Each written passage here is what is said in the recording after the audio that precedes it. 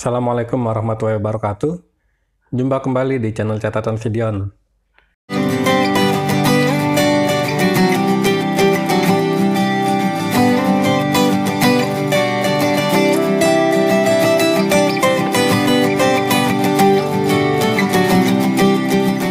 Halo Sobat Dion, apa kabar semuanya? Pada kesempatan kali ini kembali saya akan memberikan atau menyajikan sebuah tutorial untuk kalian semua. Tutorial kali ini yaitu bagaimana cara membayar tagihan listrik dengan menggunakan aplikasi mobile banking. Pada praktik kali ini kembali saya akan menggunakan aplikasi mobile banking dari Bank Muamalat DIN. Tentunya tutorial ini sangat bermanfaat buat kalian yang memang sudah menjadi nasabah Bank Muamalat dan kalian sudah mempunyai aplikasi mobile banking di smartphone kalian.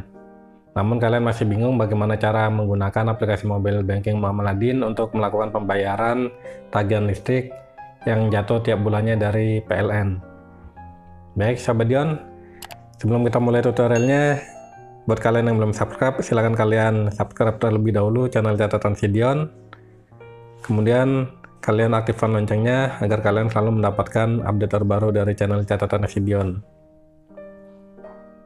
Baik, sahabat Dion, kita langsung saja mulai tutorialnya. Pertama, tentunya kalian harus membuka aplikasi mobile banking Muamaladin terlebih dahulu.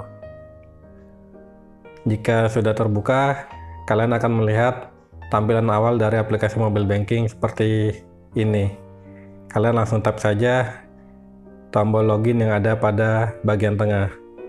Kemudian silakan kalian masukkan password dari aplikasi mobile banking Muamaladin kalian.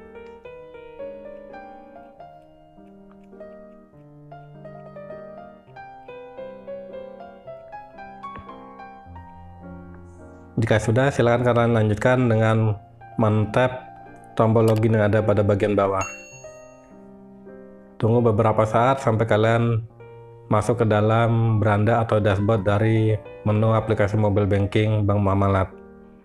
Seperti biasa, pada bagian bawah silakan kalian lihat menu-menu yang ada pada bar aplikasi mobile banking Bank Muamalat. Kalian langsung tap saja menu bayar dan top up. Kemudian kalian akan disajikan menu-menu lain dari fitur pembayaran atau isi ulang yang ada di aplikasi mobile banking ini. Karena kita akan melakukan pembayaran tagihan listrik, silakan kalian masuk ke menu utilitas publik dan kemudian kalian tap menu listrik PLN. Kemudian kalian akan melihat tampilan selanjutnya seperti ini. Sekarang kalian masuk ke dalam kolom tipe pembayaran. Kalian pilih tipe pembayaran yang akan kalian lakukan. Berhubung pada praktek kali ini kita akan membayar tagihan listrik, maka kita pilih menunya sebagai menu pasca bayar. Jika sudah, kalian masuk ke kolom ID pelanggan. Masukkan ID pelanggan dari nomor meter atau ID pelanggan listrik yang akan kalian bayarkan.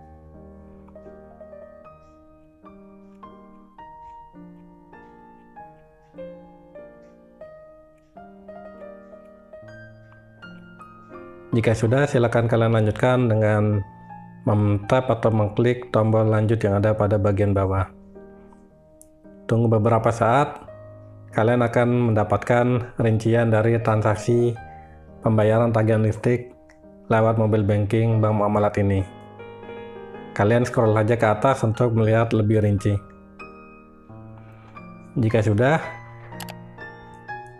kalian cek saja tagihannya jika sudah sesuai, silakan kalian masukkan PIN dari aplikasi mobile banking Mamaladin ini sesuai dengan instruksi digit yang tertera pada layar smartphone kalian.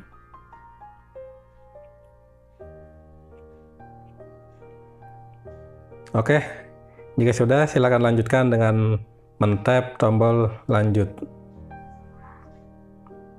Tunggu beberapa saat, kemudian jika sudah berhasil, kalian akan mendapatkan stroke dari aplikasi mobile banking Bank Muamalat ini yang menyatakan stroke ini sebagai bukti pembayaran yang sah.